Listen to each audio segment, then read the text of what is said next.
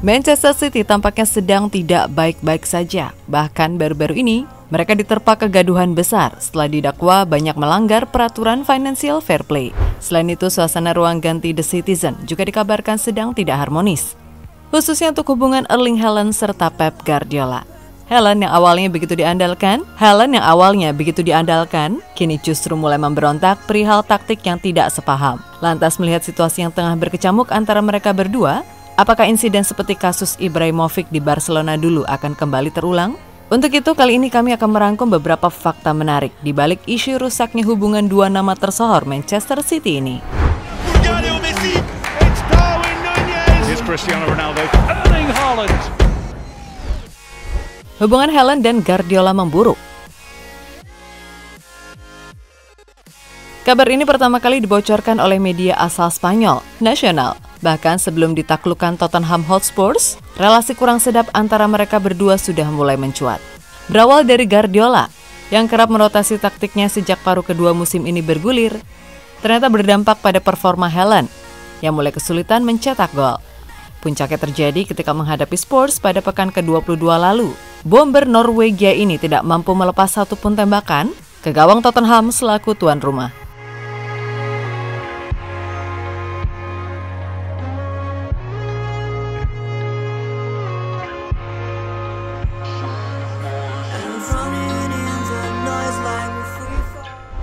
Sudah pernah diperingati Ibrahimovic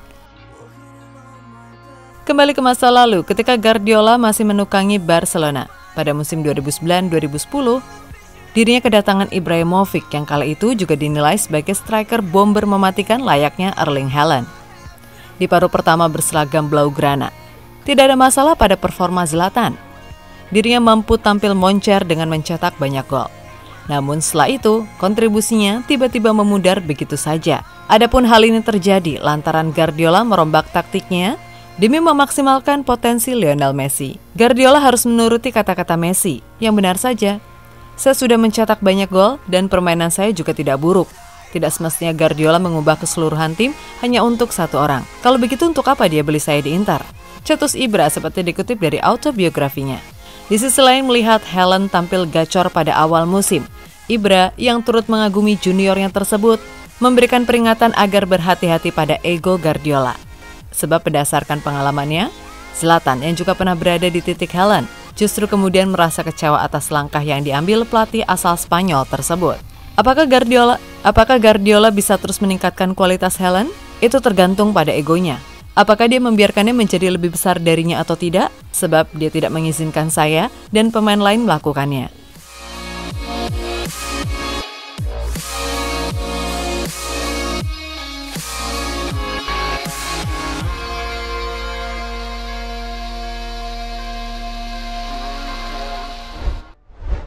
Kurangnya komitmen dari awal. Meskipun didatangkan ke Etihad Stadium dengan rentetan rincian klausul yang terbilang tinggi, baik ayah Helen maupun sang agen saat ini, Rafael Pimenta, menyebut bahwa Helen bisa saja keluar dari City lebih cepat. Prioritas mereka adalah mencari tempat terbaik untuk memaksimalkan potensi Helen. Saya selalu mengatakan bahwa salah satu prioritas saya sebagai agen adalah menawarkan pemain yang saya sebut kunci. Ketika seorang pemain ingin pergi dari klub, saya melakukan semua yang saya bisa untuk menciptakan kondisi sebaik mungkin. Dan jika besok Anda tidak ingin berada di sana lagi, saya tidak suka pemain saya tidak bebas untuk memutuskan. Ujar Rafael Pimenta seperti dikutip dari Gol.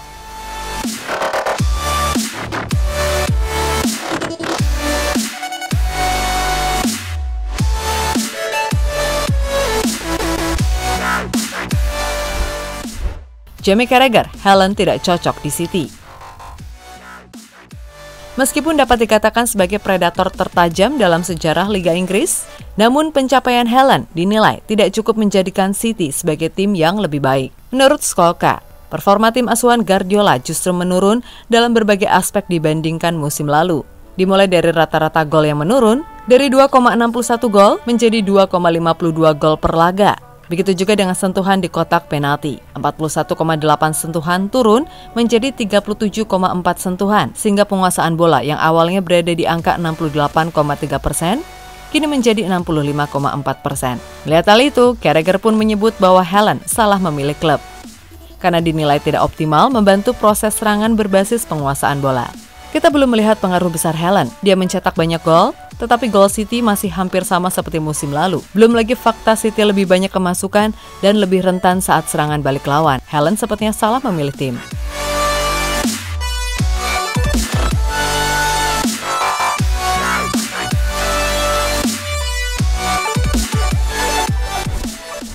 Didekati Real Madrid,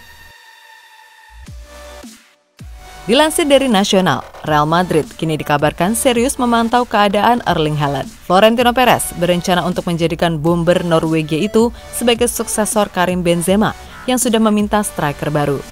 Namun Los Blancos berencana menebus Haaland pada tahun 2024 mendatang saat klausul rilisnya aktif. Klausul rilis tersebut diperkirakan mencapai 200 juta euro atau setara dengan 3,3 triliun rupiah. I feel nauseous, believe me. Never had a lot of shit come easy. Had to work hard, struggle just to be me. Had to rise up just so they could see me. Did what I had to do. Pembelaan Kylie Walker.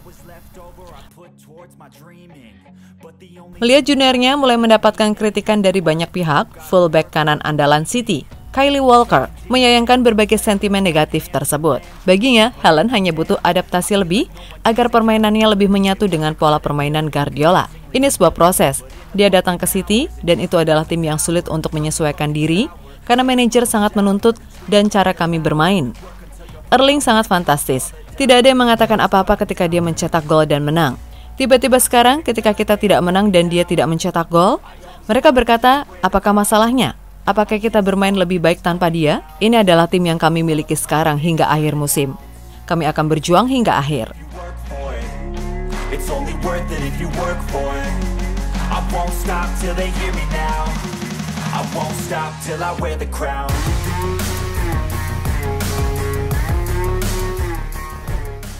Nah, sobat bola, sekian dulu ya untuk pembahasan kali ini. Gimana? Bagaimanapun juga, apa yang sedang dilalui oleh Helen saat ini merupakan hal umum dalam dunia sepak bola.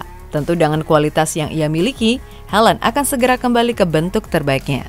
Sampai jumpa di video kami lainnya. Terima kasih dan salam olahraga.